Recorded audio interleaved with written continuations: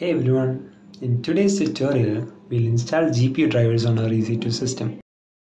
Many programs could be run faster when run on a GPU rather than a CPU. So we require a GPU for this, so we'll use a GPU enabled EC2 instance. We'll cover everything from setting up an EC2 instance to downloading updates, appropriate drivers and installing them. Before we start, we need to increase the quota of whichever EC2 instance we aim to create. For that we go to service quotas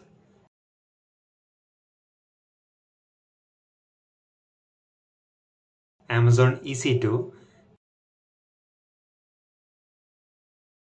and search for running on-demand P2 instances since I am going to run a P2X large instance. Press request quota increase here. A P2X large instance needs at least 4 vCPUs to work. So we will give 4 here and then you should press request. Since I already have it, I'm not gonna request it any more than I need. This might take a day or two, so make sure to do it early. Now we can go back and start. So first we must create the EC2 instance which has a GPU. For that, we go to the instances page in AWS EC2 and click launch instances. We'll be greeted by a page with the configuration we need. We give name first. Let's give it an example. So next we'll choose the OS. Here I'll be using Ubuntu. We'll choose the instance type to. I'll use p2.xlarge for this tutorial since it's the cheapest instance here which has a GPU. But you can choose anyone with a GPU. We'll choose a key pair, create one if you don't have one already. We'll increase the storage a bit since GPU heavy programs will be of large sizes usually. And let's launch the instance.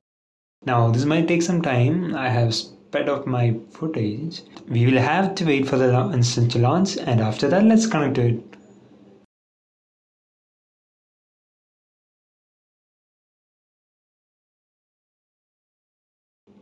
Connect here and click connect again.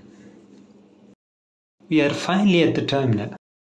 Now we'll update the packages currently installed on the system to their latest versions by typing sudo apt-y update. Next, we need to find a compatible driver for the GPU. For this, follow the first link I have given in the description to reach this website. We expand option 2 here to find the specifications we need. Now open the second link in my description to open the NVIDIA driver downloads page.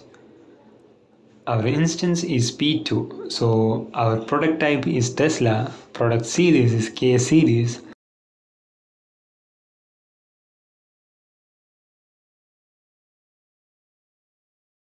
and the product is K80. The specifications we will fill in the NVIDIA page. Choose the operating system as Linux 64-bit and search. Now we get the version of the driver we need. Copy or make a note of this. Now type sudo apt install nvidia-driver-460 nvidia-dkms-460 here 460 being the driver version that we got. Now we let this finish installing. To test if it's installed, we type nvidia-smi. We get nothing here. This is because we have to restart our instance for the installation to take effect. So let's restart.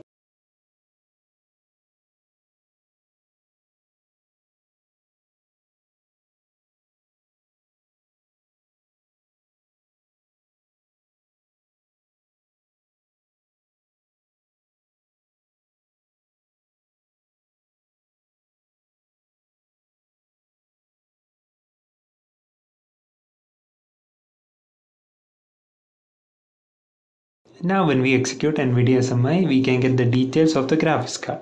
This means the graphics driver was successfully installed and now we can use any application which needs it.